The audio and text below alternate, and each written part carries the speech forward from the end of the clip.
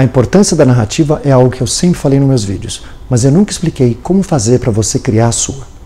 Ao contrário do que a maioria das pessoas pensa, o que difere um artista profissional de um artista amador vai além da beleza e a qualidade da obra.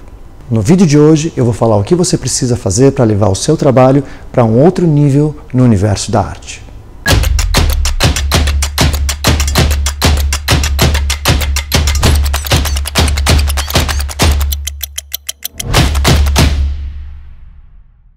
A palavra narrativa. Narrativa significa a ação, processo ou efeito de narrar, exposição de um acontecimento ou de uma série de acontecimentos mais ou menos encadeados, reais ou imaginários, por meio de palavras ou imagens. Se você acha que o seu trabalho ainda não tem uma narrativa, você está meio errado. Talvez o que você produza esteja tão preso no seu subconsciente que você ainda não percebeu ainda. E por isso eu vou te dar cinco dicas para te ajudar a descobrir a sua narrativa. Primeiro, estabeleça uma mensagem. Como artista, mesmo que você pense ou não pense, a sua arte significa algo. Ela é única para você. Para produzir um trabalho significativo que toque alguém que está vendo, todo artista precisa de algum planejamento para ter certeza de que a mensagem que você está tentando passar é a mensagem que o observador vai receber. Para começar, você precisa decidir o que você vai dizer. É uma mensagem política? Algo controverso para criar uma reação? Ou é simplesmente uma resposta emotiva por conta do observador? Muitas obras falham quando tentam dizer muitas coisas ao mesmo tempo. Então, escolha um ou dois temas para explorar nas suas obras. Mas por onde começar? Referências. Agora que você decidiu o que você vai dizer com a sua arte, é hora de juntar referências para ganhar inspiração.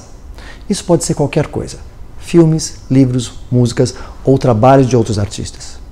Sem querer ser muito filosófico, a maior parte da inspiração é a sua própria vida. Então, olhe a sua volta e veja o que te inspira.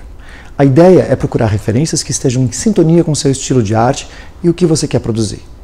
Uma vez encontradas essas referências, destaque os elementos principais delas. Uma vez que você tenha encontrado referências que você goste, selecione as suas partes favoritas. Isso pode ser desde uma paleta de cores, o uso de texto em algumas artes, expressões de rostos que você gosta em retratos ou enquadramentos e composições.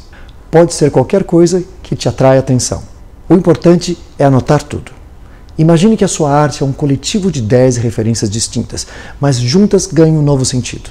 Para ilustrar isso, veja essa pintura do Giuseppe Archimboldo, onde ele usou diferentes frutas e verduras, no nosso caso é a lista de referências, mas que juntas formaram o retrato do imperador Rudolfo II. Agora que você tem todas as referências e detalhes que você quer incorporar no seu trabalho, é hora do planejamento. Isso contando que você já tem algumas ideias do tipo de arte que você quer criar. Se não, tudo bem, vale a pena repetir os últimos passos até você encontrar aquelas referências que realmente te inspiram. Uma vez que você já tem a ideia para sua obra, olhe para suas anotações. Usar uma paleta de cores amarelas, usar emoção forte, colocar um objeto em um ambiente sombrio. Escolha tudo aquilo que vai ser incorporado dentro da sua arte. Às vezes é interessante a gente anotar algumas palavras sobre a arte que vai ser produzida, como se fosse um roteiro de um filme. Não só os itens e recursos que você tem em mente, mas também a ideia que você está querendo transmitir no seu trabalho. Imagine aquela plaquinha ao lado de uma obra de arte no museu. É uma explicação sobre o que o artista está pensando sobre a obra. Não precisa ser longo, pode ser curto, com algumas sentenças. Isso é para ajudar você a se manter em foco durante o processo produtivo. Com tudo isso em mão, é a hora da criação. O último passo é começar a criar. No final das contas, toda essa preparação é ótima para te ajudar a focar na mensagem que você quer passar. E você sempre pode olhar para as anotações ao mesmo tempo que você está criando a sua obra de arte. Agora que você já fez o trabalho difícil, é hora de você emergir na produção da sua obra de arte. E se você planejar efetivamente a narrativa sobre o seu trabalho, ele vai começar a tomar corpo e se destacar naturalmente. Acima de tudo, toda essa inspiração e pesquisa na cabeça é só uma questão de organizá-la e colocá-la em palavras. Olha, às vezes uma obra não dá certo. Nesse caso, você precisa rever a mensagem sobre uma nova perspectiva. Mas outras vezes, você pode conseguir um resultado fantástico criando uma peça que realmente funciona. Um colecionador sério está sempre procurando isso na obra de arte que ele compra. É assim que você se conecta com seu público, através de uma mensagem contida na sua obra. A arte é uma autoexpressão. Confie no processo e foque no que você quer entregar na sua arte. Fazendo isso, você não terá nenhum problema em desenvolver um sentido mais profundo nela.